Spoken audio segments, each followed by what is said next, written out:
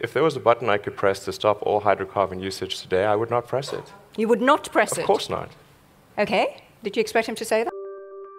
It is that we're going to run out of uh, hydrocarbons to mine and burn. So it's, it's getting harder and harder to find hydrocarbons, and it's getting much more expensive to extract them. There are ex- time extensions on the game, but the game is going to come to an end. That should be absolutely certain. Obviously, frankly.